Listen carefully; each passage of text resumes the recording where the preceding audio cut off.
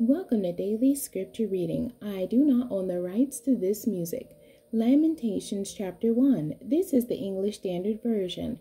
How lonely sits the city. How lonely sits the city that was full of people. How like a widow has she become.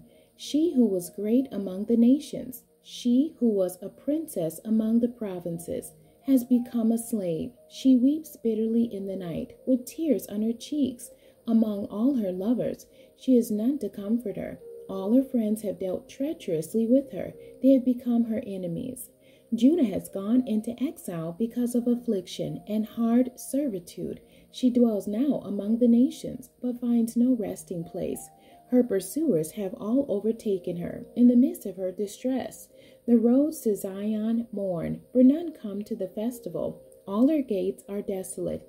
Her priests groan. Her virgins have been afflicted, and she herself suffers bitterly.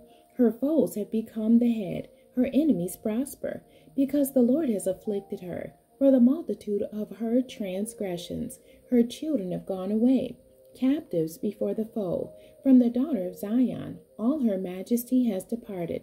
Her princes have become like deer that find no pasture. They fled without strength before the pursuer. Jerusalem remembers in the days of her affliction and wandering all the precious things that were hers from days of old, when her people fell into the hand of the foe, and there was none to help her. Her foes gloated over her, they mocked at her downfall. Jerusalem sinned grievously, therefore she became filthy. All who honored her despised her, for they have seen her nakedness. She herself groans and turns her face away. Her clean her uncleanness was in her skirts. She took no thought of her future. Therefore her fall is terrible. She is no comforter. O Lord, behold my affliction, for the enemy has triumphed. The enemy has stretched out his hands over all her precious things, for she has seen the nations enter her sanctuary, those whom you forbade to enter your congregation. All her people groan as they search for bread. They trade their treasures for food to revive their strength. Look, O Lord, and see, for I am despised. Is it nothing to you, all you who pass by? Look and see. If there is any sorrow like my sorrow, which was brought upon me, which the Lord inflicted on the day of his fierce anger, from on high he sent fire into my bones. He made it descend. He spread a net for my feet. He turned me back. He has left me stunned, faint all the day long. My transgressions were bound into a yoke. By his hand they were fastened together. They were set upon my neck. He caused my strength to fail. The Lord gave me into the hands of those whom I cannot withstand. The Lord rejected all my mighty men in my midst. He summoned an assembly against me to crush my young men. The Lord is trodden as in a winepress, the virgin daughter of Judah.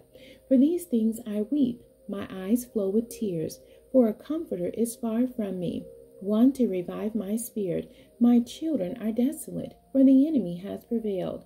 Zion stretches out her hands, but there is none to comfort her. The Lord has commanded against Jacob that his neighbors should be his foes. Jerusalem has become a filthy thing among them. The Lord is in the right, for I have rebelled against his word. But hear, all you peoples, and see my suffering. My young women and my young men have gone into captivity. I called to my lovers, but they deceived me. My priests and elders perished in the city, while they sought food to revive their strength. Look, O Lord, for I am in distress. My stomach churns. My heart is wrung within me because I have been very rebellious. In the street, the, the sword bereaves. In the house, it is like death.